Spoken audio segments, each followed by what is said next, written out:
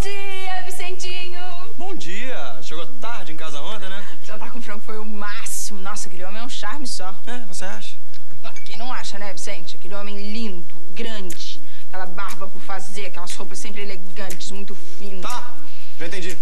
Você ficou encantada mesmo com ele, né? Claro, vai ser ótimo trabalhar com ele. Ainda bem que ele não faz o meu tipo. Ah, não? Ah, não. Eu gosto de homem mais normal, assim, magrinho, baixinho, carinha de neném meio tímido. Ah, é?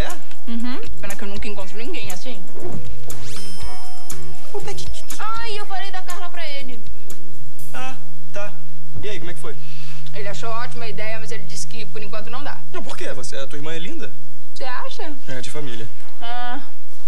Bom, ele falou que é porque ela estuda em período integral, o curso é puxado. Ele sabe porque a filha dele também estuda lá, né? É verdade, eu não tinha pensado nisso. Que bom que o Franco pensou.